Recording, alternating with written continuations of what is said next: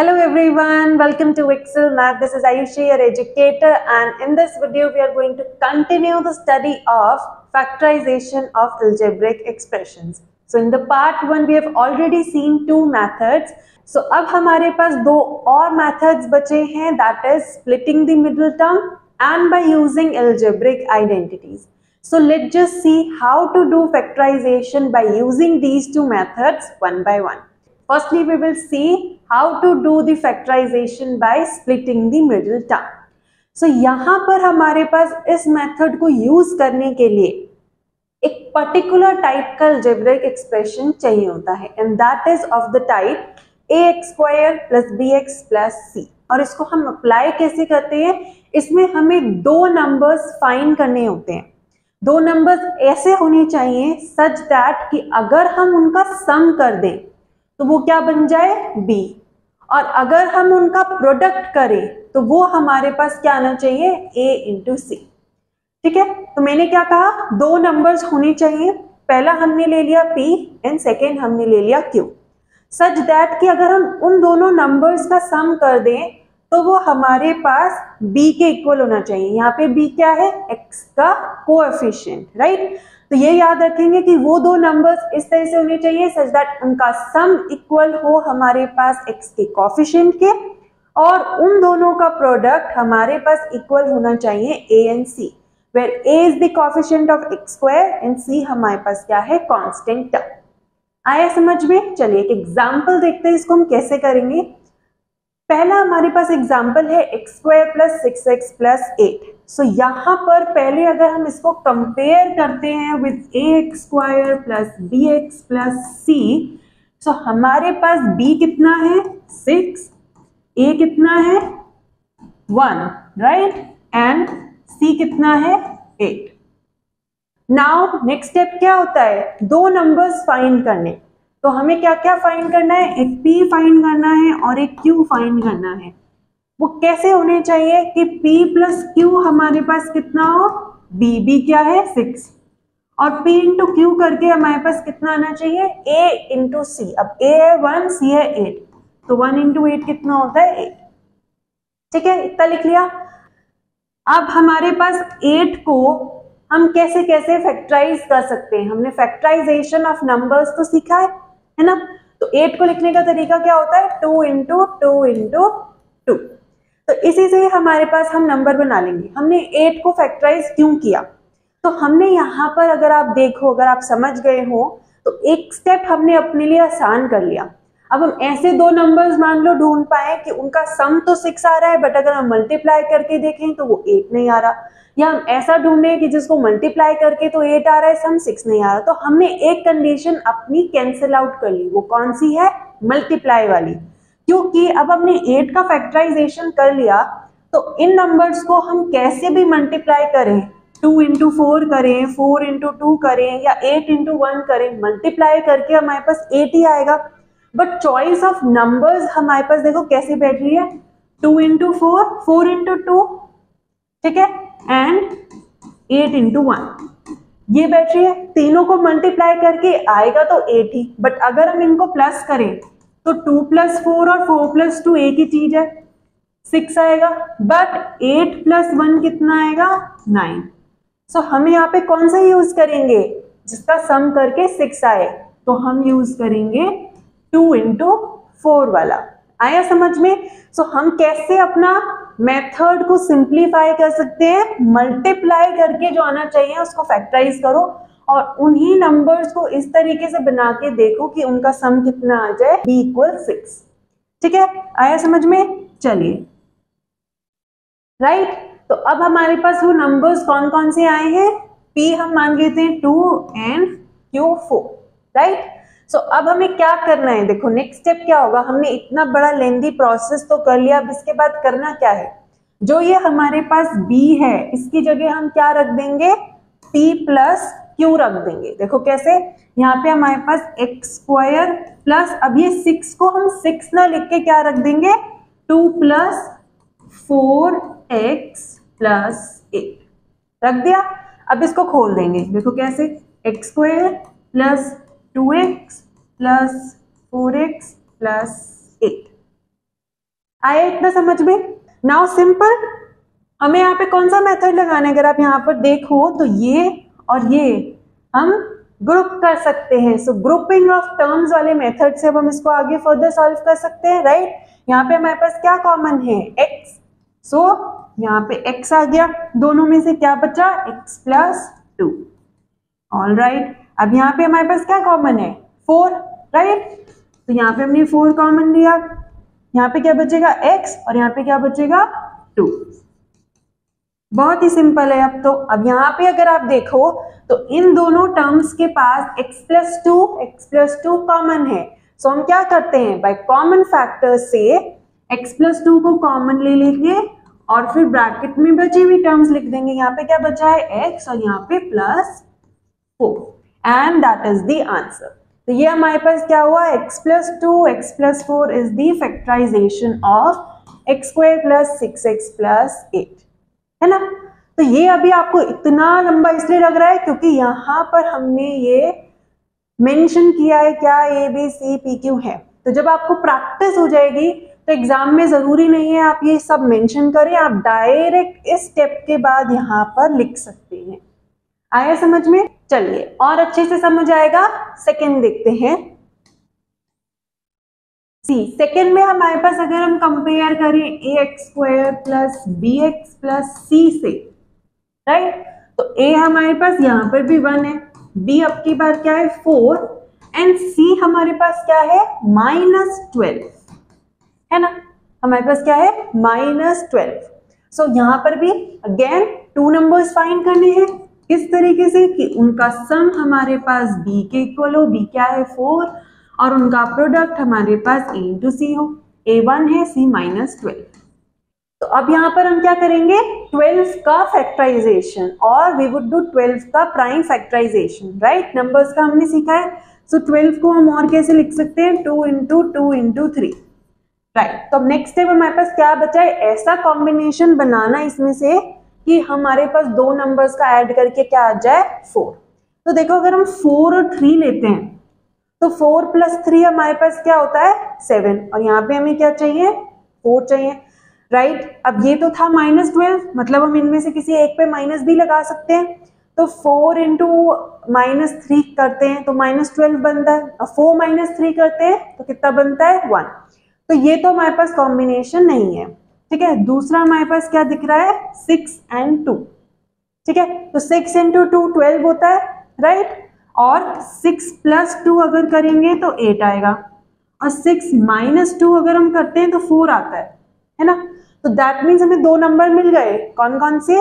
एक हो जाएगा सिक्स एक हो जाएगा माइनस टू चलिए तो अब हम क्या करेंगे? B की जगह p प्लस क्यू रखेंगे। P हम मान लेते हैं सिक्स और q हम मान लेते हैं? Minus two right so x square plus four की जगह हमें क्या रखना है? सिक्स माइनस टू बाकी एज इट इज़ ठीक है? आ रहा है समझ में? अब इसको हम क्या करेंगे? ब्रैकेट को ओपन कर देंगे। अब तो कुछ भी नहीं बचा। सॉल्व हो गया हमारा। देखो, है ना? अब यहाँ पे क्या लगाएँगे? ग्रुपिंग ऑफ़ टर्म्स इन दो को एक साथ ले लो, इन दो को एक साथ ले लो। यहाँ पे x कॉमन है बाकी बचा हुआ ब्रैकेट में x प्लस सिक्स यहाँ पे माइनस टू कॉमन है राइट तो माइनस टू हमने बाहर लिया। यहाँ पे क्या बचेगा? X और यहाँ पे plus six right now here x plus six is in both terms तो x प्लस सिक्स कॉमन हमने बाहर लिया और ब्रैकेट में बाकी बचा हुआ लिख दिया। सो so, ये हमारे पास क्या हुआ? X square plus four x minus twelve का फैक्टराइजेशन आया समझ में? चलिए तो अब हम आइडेंटिटीज को यूज़ करके कैसे करते हैं? हमारे पास वहाँ पे बहुत सारी आइडेंटिटीज थी। स्क्वायर की आइडेंटिटीज थी। ए प्लस बी का स्क्वायर ए माइनस बी का square a square minus b square and a plus b plus c का होल स्क्वायर राइट ये सब आइडेंटिटीज थी। देन सम हमारे पास क्यूब की आइडेंटिटीज हैं। जैसे कि a cube plus b cube a cube minus b cube a plus b का whole cube a minus b का होल क्यूब ये सब आइडेंटिटीज भी हमने पढ़ी है।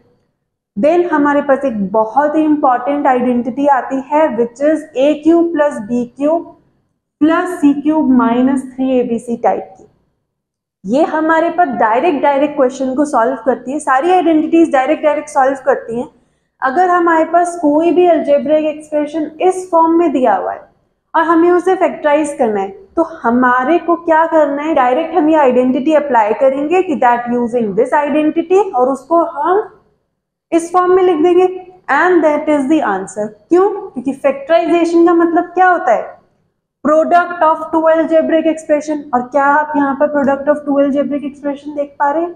राइट सो बस हमें क्या करना है? जो भी एक्सप्रेशन हमें घुमा फिरा के दे रखा है, वो देखना है कि कौन सी आइडेंटिटी से मैच कर रहा है। इस वाली आइडेंटिटी से मैच कर रहा है। या इन वाली आइडेंटिटी से मैच कर रहा है। अब अगर वो इस तरीके से दे दिया हमें एक्सप्रेशन तो वो कॉम्पैक्ट फॉर्म में फैक्टराइज फॉर्म होके ये आएगा।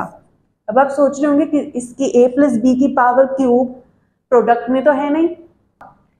किसी भी नंबर का क्यूब का क्या मतलब होता है? हम उसको थ्री टाइम्स मल्टीप्लाई करें। जो पावर होती है, उसका मतलब क्या होता है? हम उसको उतनी बार मल्टीप्लाई करें।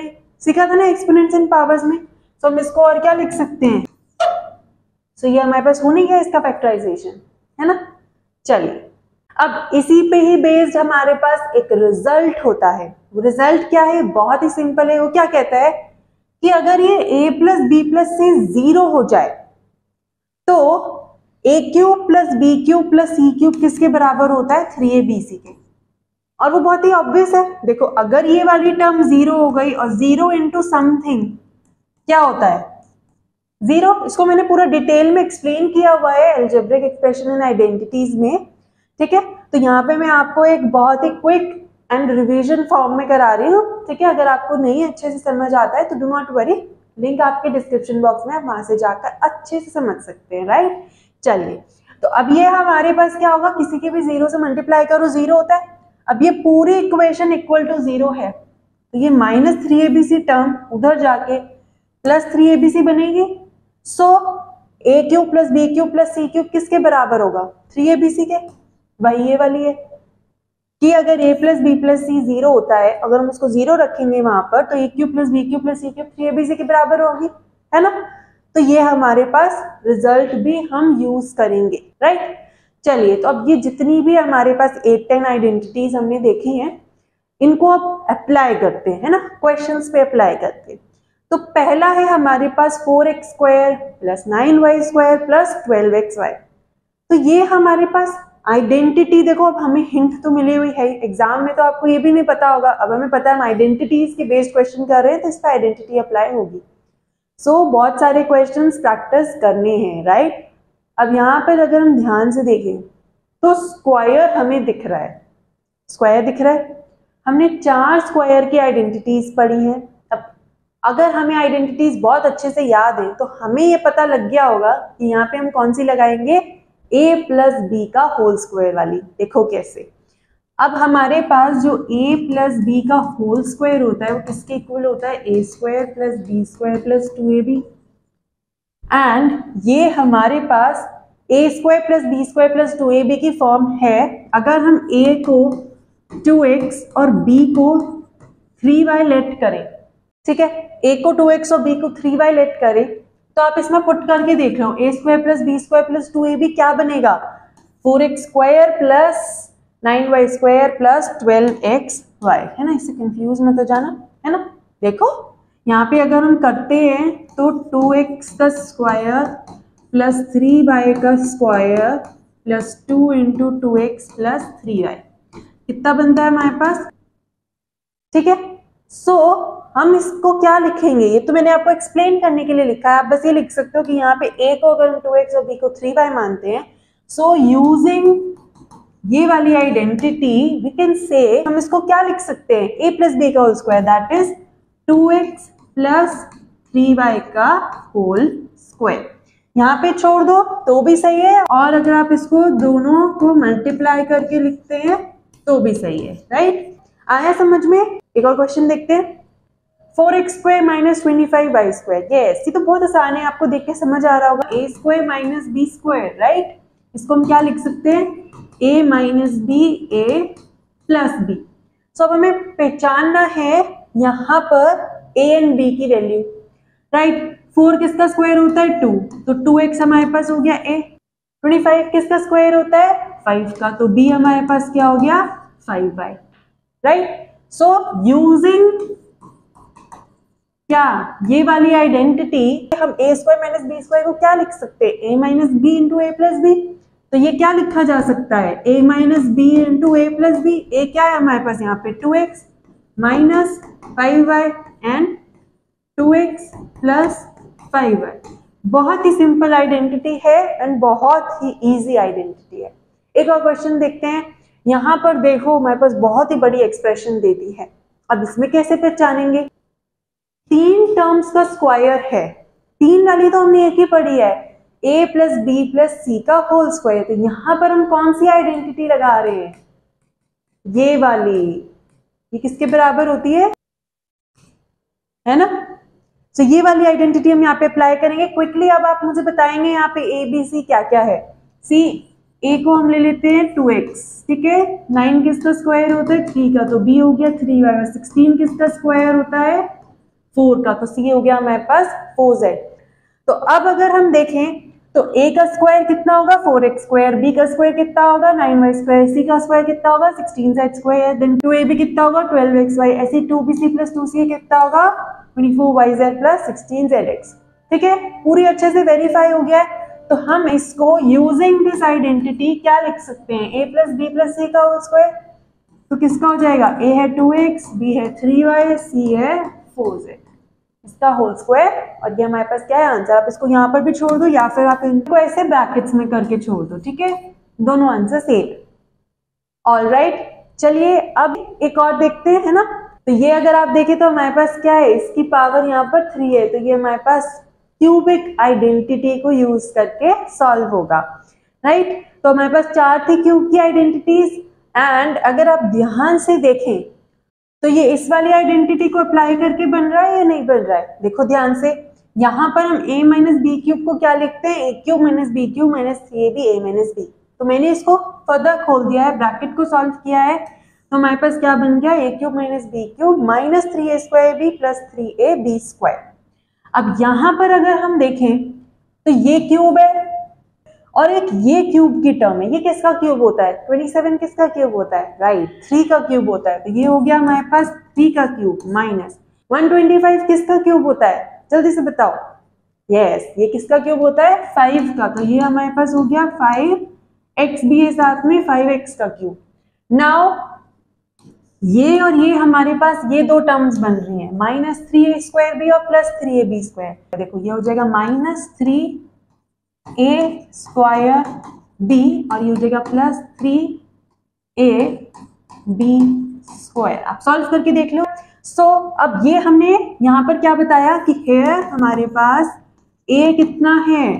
थ्री और बी कितना है? फाइव एक्स और जब हम इसमें पुट करते हैं तो हमारे पास मैच कर जाता है। So that means we will be applying this identity और ये आइडेंटिटी क्या कहते हैं कि पूरे एक्सप्रेशन ए माइनस बी के होल क्यूब के इक्वल है। सो दैट मीन्स हमारे पास ये जो पूरी एक्सप्रेशन है, इसको हम क्या लिख सकते हैं? थ्री माइनस फाइव एक्स का होल क्यूब राइट तो ये हमारे पास क्या हो गया? आंसर आया समझ में? ऑल राइट आज की क्लास का हमारा लास्ट क्वेश्चन हम देखते हैं। ठीक है? अच्छा एक चीज़ बताओ वन का क्यूब क्या होता है? वापस से वन ही होता है? तो यहाँ पे हम इसको ये लिख सकते हैं राइट तो a cube b cube c cube हमारे पास एक तरीके से अगर हम इसको अभी ए बी और सी मानते हैं तो a cube plus b cube plus c cube आपने कहीं पे देखा है? Yes yes. दो हमने इसकी देखी है। एक थी a cube plus b cube plus c cube minus three a b c form की। बट यहाँ पे हमें कहीं minus three a b c वाली टर्म नहीं दिख रही है। एक नंबर का क्यूब हो रहा है, दूसरे का, तीसरे का क्यूब हो रहा है, ठीक है? सो हम क्या करेंगे? एक और थी इसकी फॉर्म में, जो कि इसी का रिज़ल्ट था, जो क्या कहता है कि अगर a plus b plus c zero होता है तो a cube plus b cube plus c cube three a b c के बराबर होता है। तो अभी हमें क्या चेक करना रह गया इस क्वेश्चन में कि क्या इसमें ए बी और सी का सम ज़ीरो है या नहीं? अगर वो ज़ीरो होता है तो हम डायरेक्ट डायरेक्ट वो रिज़ल्ट अप्लाई करके इसको हम किसके इक्वल रख सकते हैं? थ्री ए बी सी के। मैं यहाँ पे एक बार रिज़ल्ट लिख देती हूँ।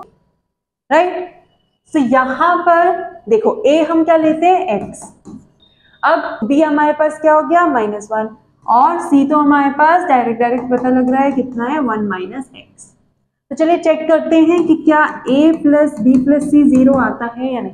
ए कितना रखा हमने? एक्स बी कितना है? माइनस वन सी कितना है? वन माइनस एक्स तो माइनस वन से वन कैंसिल एक्स से एक्स कैंसिल ज़ीरो तो ये तो हमारे पास ज़ीरो आ गया। दैट मीन्स हम ये वाली आइडेंटिटी अप्लाई कर सकते हैं डायरेक्ट डायरेक्ट हम क्या कह सकते हैं कि किसके इक्वल होगा? थ्री ए बी सी के। यहाँ पर थ्री ए बी सी क्या है? Three into x into minus one into one minus x right इसको हम फर्दर सॉल्व कर देते हैं। थ्री एक्स माइनस को हम अंदर ले जाते हैं। तो कितना बन जाएगा? एक्स माइनस वन सो ये हमारे पास क्या हो गया इसका? आंसर चलिए तो आज की क्लास यहीं तक थी। आई होप आप लोगों को समझ आया होगा।